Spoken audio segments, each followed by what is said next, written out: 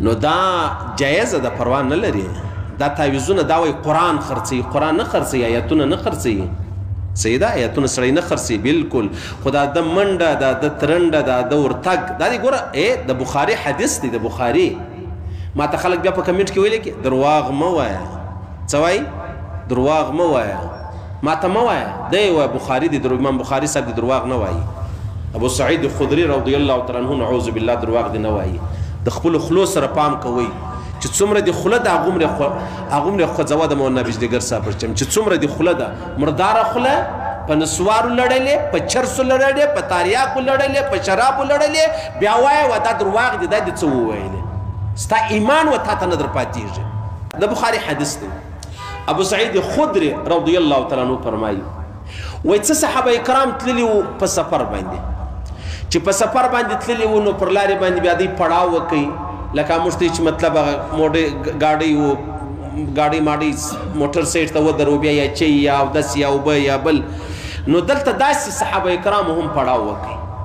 پړاو چه وکی نږدې یو کلی وو بیا به یا اوبه جنی غوښتی یا به شیدې جنی غوښتی یا به خراق جنی غوښتی خو هغوی یو شی هم نه کوي ور چه نه کوي ور نو بیا په دغه کلی کی د دې قبیلی چه کم سردار وو نو هغه مار وخواړی یا مار خوړلی وو یا مار وخواړی چه وی خوړی وس الته هیڅ څوک نه ولو چه په دای مطلب یا د دې علاج کړو یا حکیم یا طبیب یا ډاکټر څوک نه ولو یا د دم د پاره نو دغه کی یو سړی یا یو کښنی انجلی یا مینځه چه د هغه راله دا صحاب به کرامو ته ودریدل ورته ویل یې چې زموږ داسې سردار دی زموږ د قبیلې زموږ خان دی زموږ ملک دی هغه مار وخوړی په تاسو کې یو داسې څوک شته چې دم کوي په تاسو کې داسې څوک شته چې په دم پوهیږي نو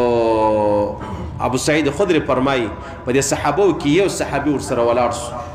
چې ولاړ شو، وايي، موږ نه وو په خبر چې دغه صحابي چې دی هغه په دم باندې پوهېږي، دم مدرو دچو چې کوم بلل کېږي، په هغه باندې پوهېږي، دی ورسره ولاړی، هلت يې ورته وويل، موږ ته څه شی وغوښتی، ته موږ ته شی نه کوي را، نو زه مفت دم نه درباندې کوم، هغه وويل، نو بيا څه کوې، نو چيش غواړې؟ هغه ویل، دغه رمه ولاړه ده، ماته به دغه رمه راکوئ. بل روایت کې راځي، دېرس وزې، پسونه، ول دا به راکوئ. کرار دی راولاړ شو، دم یې ورباندې وکړ. دم چې ورباندې وکړ، هغه ملک، هغه سردار د قبیلې جوړ او روغ شو، تا چې ول په رسۍ تړلی و، خلاص شولو. بیا یې هغه رمه ځینې راروانه کړه. چې راروان یې کړله، بیا رالو، ملګرو ته راورسېدی. هغه ویل، تا دا دم چیرې زده کړی دی دغه؟ دا دا دا تا چش پر وویل اول ما خو الحمدلله شریف پر وویل ول الحمدلله دې باندې وویل ول الحمدلله مې باندې وویل په الحمدلله کې دومره لوی اثر دی او په الحمدلله کې دومره لوی اثر دی اوس په د افسونه څه پکونه دا دې څنګه جن واخصل دا خو حرام دی ته څنګه پر چا الحمدلله وای او بیا ولاړېږي مطلب شکرانه جن غواړي روپۍ جن غواړي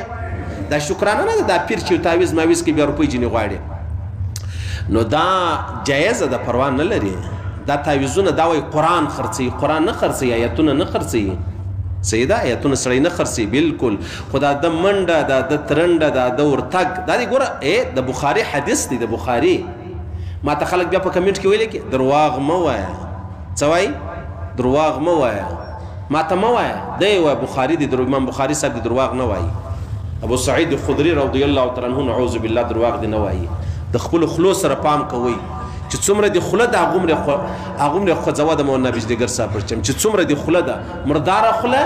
په نسوارو لړلې په چرسو لړلې په تاریاکو لړلې په شرابو لړلې بیا وایه و دا درواغ دي دا دې څه وویلې ستا ایمان و تا ته نه در پاتېږي نو د چې هغه پسونه مسونه راوسته بیا دی دا سرول دا به څه په کوو یاره دا خو غلط کار وسو نو دا تا پسونه څنګه جنا قستی شکرانه دي څنګه جنا قسته ده نو رالو را روان سو چې رالو پیغمبر علی السلام مبارک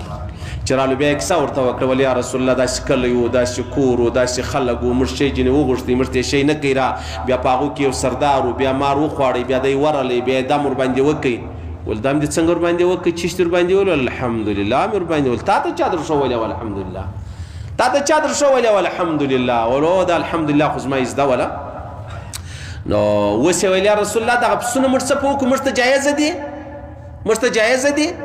پیغمبر علیه السلام مبارک پر وخندل ویل زما یې سم رالره کښېږدئ او او جایزه دې